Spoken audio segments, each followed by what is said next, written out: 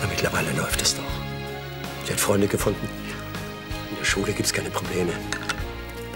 Und bei uns scheint sie sich endgültig wohlzufühlen. Ich bin auch sehr glücklich darüber. Ich möchte halt nur nicht, dass sie den falschen Weg geht. Eine gefälschte Unterschrift ist sicherlich nicht der richtige Weg, da gebe ich dir recht. Dann haben wir ja jetzt alles geklärt. Es war doch nur ein Missverständnis. Das jetzt ausgeräumt ist. Wir sehen uns.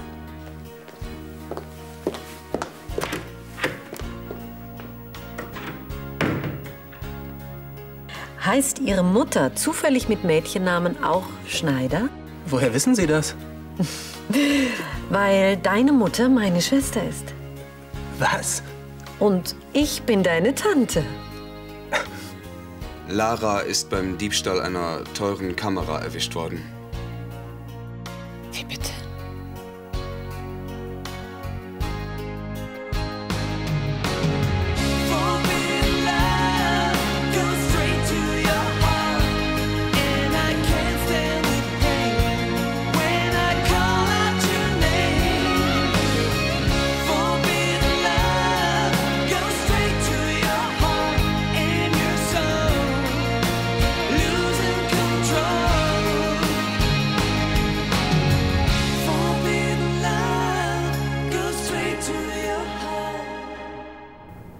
Das, das, das muss ein Missverständnis sein. Lara. Tut mir leid. Also, ich begreife das nicht. Was ist denn hier los? Guten Abend. Lara ist bei einem Diebstahl erwischt worden. Was? Sie hat eine Kamera entwendet. Ist das wahr? Der Ladenbesitzer jedenfalls hat Anzeige erstattet. Was bedeutet das jetzt? Eine Geldstrafe. Und mit ein paar Sozialstunden muss sie wohl auch rechnen. Hinzu kommt natürlich noch der Ärger mit dem Jugendamt. Jugendamt? Die überprüfen das soziale Umfeld. Ja. Du bist Tante. Deine Tante Charlotte. Angelo, Was gibt's? ich bin gerade Tante geworden. Hi. Das ist mein Neffe Oliver. Aha. Bringen Sie uns zur Feier des Tages doch gleich mal zwei Gläser Champagner. Sicher. Ich habe immer gedacht, dich gibt's gar nicht wirklich. Ach, wurde denn in deiner Familie überhaupt über mich gesprochen? Naja, Naja, okay. Und wenn, dann nicht positiv. nicht wirklich. Deine Mutter und ich, wir hatten leider nie ein wirklich gutes Verhältnis. Wieso eigentlich? Ach, wir waren einfach zu unterschiedlich. Sie immer die brave, ordentliche und ich... Das komplette Gegenteil. Ich hatte einfach immer Panik, dass ich in diesem kleinen Bürgermief ersticke. Ich weiß ganz genau, was du meinst. Ich glaube, wir werden uns gut verstehen, Neffe. Das glaube ich auch. Oh, das wird ja immer schlimmer. Das versteht doch kein Mensch. Du arbeitest noch? Ja, ich versuche es zumindest. Gibt es Probleme? Nein, ich verstehe nur nicht, wie man sich den ganzen Tag mit Bilanzen beschäftigen kann. Da bist du ja. Ich habe dich schon überall gesucht. Hallo, Kathi. Hallo. Was hast du denn vor? Ich hatte gehofft, du würdest mir ein bisschen Gesellschaft leisten vor dem Kamin. Ich habe einen wunderbaren Bordeaux ausgegraben. Gern. Na, dann komm. Ach, Martin, entschuldige. Ich hätte eine kleine Frage. Mir sind hier immer noch ein paar Posten unklar. Lass mal sehen. Also, pass auf. Äh, Schatz, ich erkläre das Kathi nur schnell. Bist du so lieb und lässt schon mal den Kamin anfeuern? Ich komme dann gleich nach. Natürlich. Oh, nimm doch schon mal die Flasche mit. Also, Was wolltest du eigentlich mit dieser Kamera? Das ist keine Antwort, Lara. Ich weiß es doch auch nicht. Du stehlst eine Kamera und hast keine Ahnung, warum? Ich hoffe, dir ist klar, dass das ernste Konsequenzen nach sich zieht. Diebstahl ist kein Spaß. Ja, es war wirklich blöd von mir. Die Sorgerechtsprüfung durch das Jugendamt ist gerade erst abgeschlossen. Was glaubst du, was passiert, wenn die von deiner Aktion erfahren? Komme ich jetzt ins Heim? Ja, Das ist sehr gut möglich. Lasst uns morgen darüber weiterreden. Wir sollten das alle erst mal überschlafen.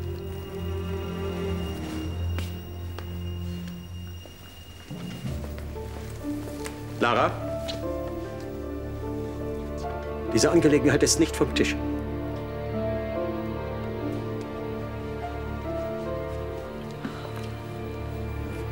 Was haben wir falsch gemacht, Arne? Ich glaube, Angelo trinkt den Champagner selber. Aber erzähl weiter, das ist gerade so spannend. Aber eigentlich weißt du jetzt alles über meine Familie. Ja, aber für dich hast du noch nicht viel erzählt. Da gibt's auch nicht mehr so viel zu erzählen. Was willst du wissen? Zum Beispiel, ob es jemanden gibt in deinem Leben. Ich weiß, ich bin schrecklich neugierig. Naja, Also ihren Namen kannst du mir doch wenigstens verraten. also ich weiß nicht, ob ich ihn, äh, ob ich dir das jetzt so einfach erzählen kann. Nur zu, ich werde es schon nicht in Düsseldorf rumerzählen. Okay. Also sie heißt Tom. Tom. Tom Seifert? Oh, oh, das wird deiner Mutter aber gar nicht gefallen. Meiner Mutter gefällt nichts, was nicht in ihr Weltbild passt. Die Szene gestern zwischen dir und Tom, habt ihr Streit? Er glaubt mir einfach nicht, dass ich mich in ihn verliebt habe. Dann beweis es ihm. Wie denn? Lass dir was einfallen. Lad ihn ein. Mach irgendetwas, was ihm Freude macht. Das habe ich alles schon versucht. Ein schwieriger Fall, ja? Er hat irgendwie alles in den falschen Hals gekriegt. Er denkt, ich treibe noch meine Spielchen mit ihm. Na, aber du wirst doch jetzt nicht schon aufgeben, oder? Dafür habe ich ihn viel zu gern.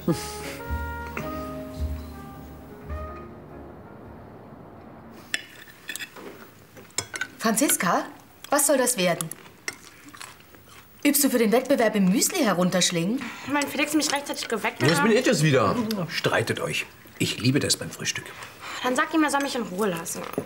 Du sollst sie in Ruhe lassen. Hat dir meine kleine Beratung in Sachen Bilanzen geholfen gestern? Oh ja, sehr vielen Dank. Für mich ist halt doch noch ziemlich viel neu. Ja, es ist eben nicht so einfach, ein großes Unternehmen zu leiten. Aber du schaffst es schon. Fährst du in die Stadt? Ja, Könntest du mich bei Caradonna absetzen? sicher. Danke. Komm bitte pünktlich zum Abendessen. Versprochen. Bei mir wird es heute leider sehr spät. So, das ist aber schade. Larissa! guten Morgen. Guten Morgen. Eigentlich wollte ich nur für einen Moment vorbeischauen. Aber wie ich sehe, sind alle hier im Aufbruch. Tut mir leid, Clarissa. Guten Morgen. Guten Morgen. Was machst du denn hier? Ich wohne hier, wenn du gestattest. Wir haben es sehr eilig. Entschuldige. Mit der Kleinen werdet ihr noch viel Freude haben. Wie wär's mit einem Kaffee?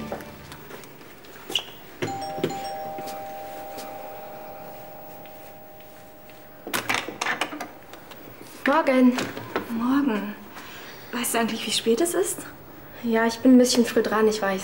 Ja, komm erst mal rein und trink einen Tee. Du kannst es wohl gar nicht abwarten, in die Schule zu kommen. Dicke Luft zu Hause. Was ist denn passiert? Ja, jetzt sag schon. Ich. Ich hab was mitgehen lassen. Scheiße! Das kannst du laut sagen. Sie haben dich natürlich erwischt. Mann, ich dachte, du wolltest nie wieder klauen. Das wollte ich ja auch nicht, aber diese Kamera. Was für eine Kamera? Äh, jetzt sag bloß, du hast die für mich geklaut? Ja. Damit das was wird mit dir und Felix. Wie soll ich jetzt eigentlich zu dir sagen? Tante Charlotte oder Tante Charlie? Oh, das klingt ja beides schrecklich. Nur Charlie. Das passt auch am besten zu dir. Hey, was drei Bücher alles bewirken? Darf ich vorstellen? Meine Tante Charlotte. Tante? Oh. Welt ist klein und wir sind vorn. Ja, ob du es glaubst oder nicht, sie ist die Schwester meiner Mutter. Aber das ist eine längere Geschichte. Kein Witz. Kein Witz. Sachen gibt's. Wie geht's eigentlich, Tom? Ähm, soweit ganz gut, glaube ich. Ah ja.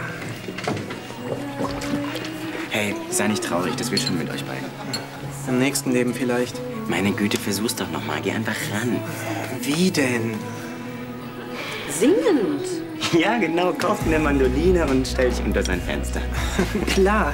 Ich bin aber leider kein Bade und wir leben auch nicht im Mittelalter. Hey, ich habe da eine Idee. Tut mir leid. Lara ist noch nicht von der Schule zurück. Ich weiß. Ja, ich habe mir extra die letzte Stunde freigeben lassen, um mit Ihnen zu reden. Mit mir? Ja, dann komm doch rein. Also? Lara hat mir erzählt, dass sie beim Clown erwischt worden ist. Allerdings. Guten Tag, Herr Brandner. Äh, Alexa, Tag. Sie dürfen ihr nicht böse sein. Sie hat's für mich getan.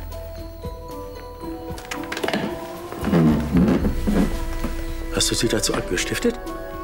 Nein, ich habe nichts davon gewusst. Also jetzt verstehe ich gar nichts. Wie soll ich sagen? Das war eine Art Freundschaftsbeweis von Lara. Auf eine Freundschaft, die solche Beweise nötig hat, sollte man vielleicht besser verzichten. Darum geht es doch gerade. Lara hat's nicht nötig. Und warum hat sie es dann getan? Weiß ich ja auch nicht. Aber sie hat's gut gemeint.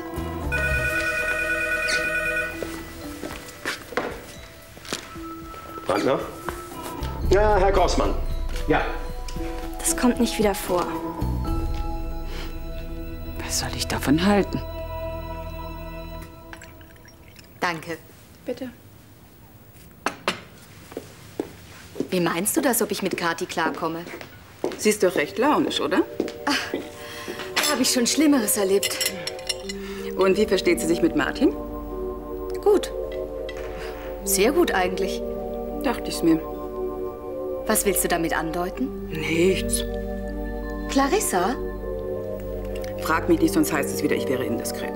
Ach, was hier gesprochen wird, das bleibt doch unter uns. Dir ist doch sicher schon aufgefallen, dass Kathi recht attraktiv ist. Besonders ältere Männer scheint sie magisch anzuziehen. Ich bitte dich, Clarissa. Sei einfach auf der Hut. Nein, nein.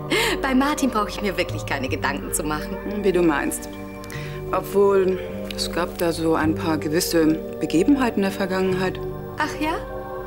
Ach, lassen wir das lieber. Warum ist dieser scheiß Kühlschrank eigentlich immer leer? Weil du nicht eingekauft hast. Ich bin gar nicht dran heute. Egal, ich habe eh keinen Bock auf Kochen. Sag mal, dann lass uns doch nach Ernst No Limits gehen und dort was essen.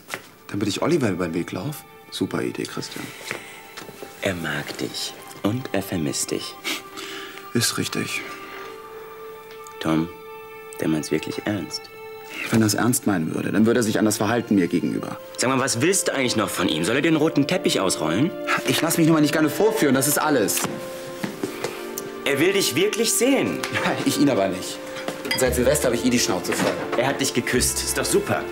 Er hat mich geküsst, weil er wissen wollte, wie es ist, einen Mann zu küssen. Das ist was ganz anderes. Dir ist echt nicht zu helfen. Sag mal, hat er dich eigentlich vorgeschickt, um mich voll zu labern, oder wie? Spinnst du?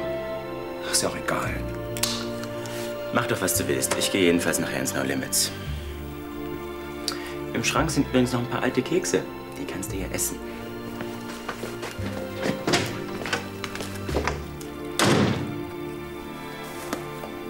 Das gefällt mir nicht. Das gefällt mir ganz und gar nicht. Was denn? Laras emotionale Abhängigkeit von Alexa. Komm, jetzt übertreibst du. Also, dass sie einfach eine Kamera klaut? Geht zu weit, ja. Ja. Glaubst du, wir kriegen Ärger mit dem Jugendamt? Das kann schon sein. Arno, wir müssen unter allen Umständen verhindern, dass so etwas noch mal vorkommt.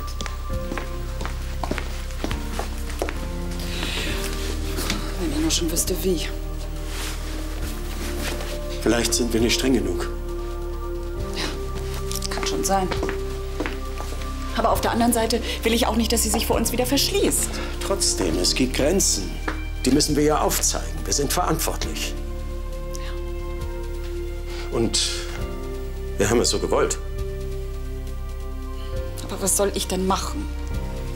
Ich kann sie doch nicht den ganzen Tag einsperren. Das ändert nichts. Wir müssen uns was einfallen lassen.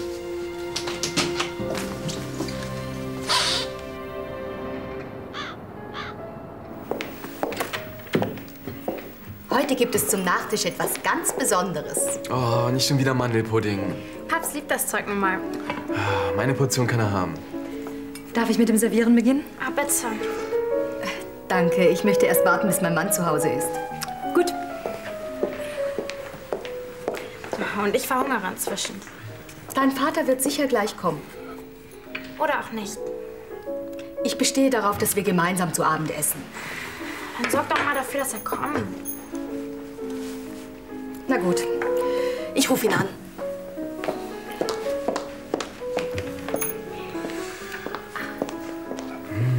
Lecker. Guten Appetit übrigens. Von Weinbach hier, ja. Ich hätte gerne meinen Mann gesprochen, bitte. Vor einer halben Stunde losgefahren, sagen Sie? Ja. Vielen Dank. Wiederhören. Ist nur noch der Pförtner im Haus. Ja, dann wird er ja bald kommen. Hoffentlich. Danke nochmal, dass du das arrangiert hast. Was man nicht alles für die Liebe tut. Hi, Nina. Hi. Was ist denn hier los? Ich hätte gern ein Bier und einmal Spaghetti Carbonara. Va bene. Und für mich ein Wasser, bitte. Alles klar. Na, hi. Kann ich mich noch zum Karaoke-Singen anmelden? Oh, die Anmeldefrist ist leider schon abgelaufen. Jammer, schade. Karaoke? Ich? Ist doch fun. Also ich weiß nicht.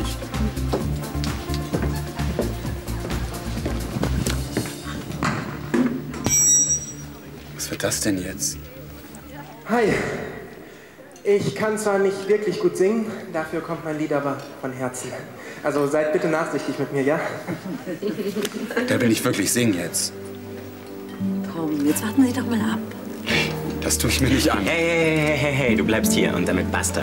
Genau. Dein Wasser. Hm? Tom, seien Sie doch kein Spielverderber. Prost.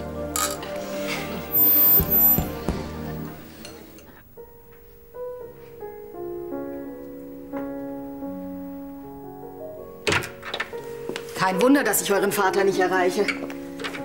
Hat sein Handy liegen gelassen. Franziska, mach mich bitte nicht wahnsinnig.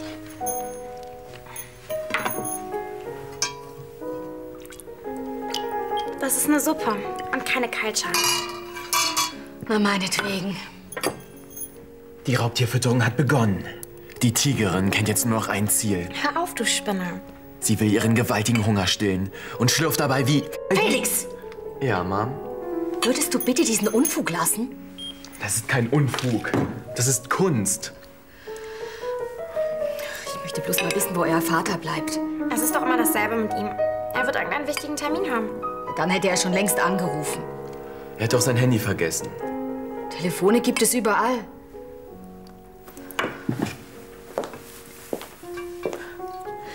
Wenn er nur keinen Unfall hatte. Papst? Niemals. Na gut. Dann essen wir eben. I heard she sang a good song. I heard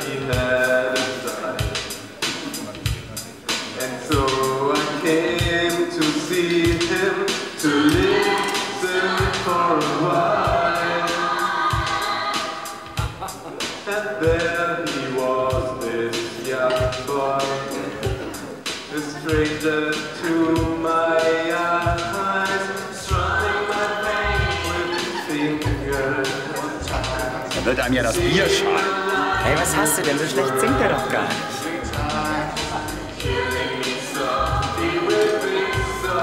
Ich wusste gar nicht, dass meine Verwandtschaft so romantisch veranlagt ist. ist doch eine tolle Idee. Ja, hoffentlich sehen das andere Leute hier auch so. Weiß trotzdem nicht, was das Ganze hier soll. Ich gehe nach Hause. Hey.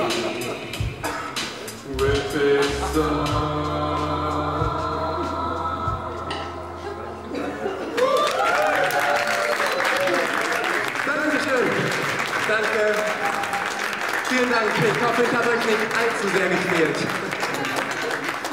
Wir machen es nicht. Eigentlich habe ich das Ganze hier ja nur gemacht, damit. damit eine bestimmte Person mich endlich mal beachtet. Der meint bestimmt Sie, Frau Schneider. Das würde mich wundern. Tom, du bedeutest mir wirklich sehr viel.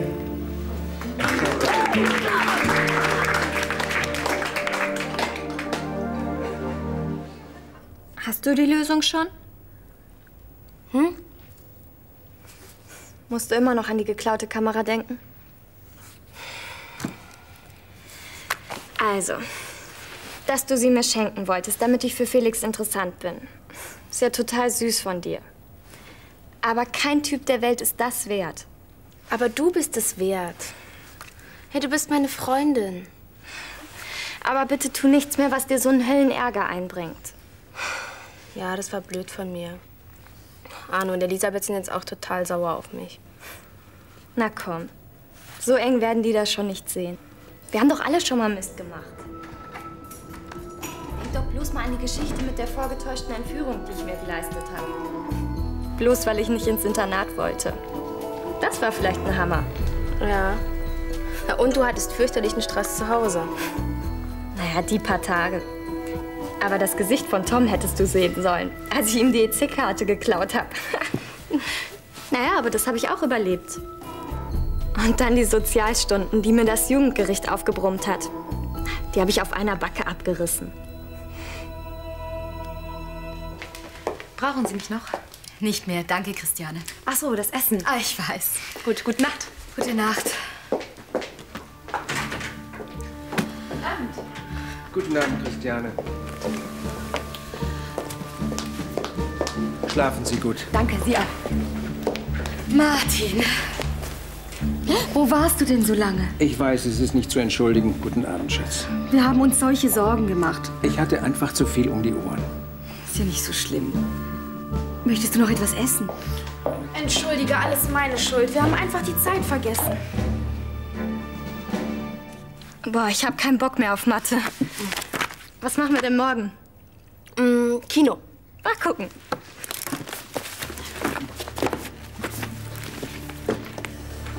Guten Abend. Hallo. Schon etwas spät, hm? Wir haben noch Mathe gelernt. Schön. Ja, ich mache mich dann mal vom Acker. Wiedersehen.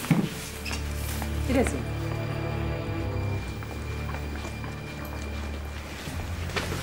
Die wird sich schon wieder einziehen. Ja, hoffentlich. Ich hol dich morgen früh ab, okay? Gut, dann tschüss. Lara? Ich habe eben ganz ungewollt euer Gespräch mitbekommen. Was? Ich muss sagen, das hat mir ganz und gar nicht gefallen. Bitte lass mich ausreden. Alexa hat keinen guten Einfluss auf dich. Was soll denn das heißen? Ich wünsche, dass du sie nicht mehr triffst.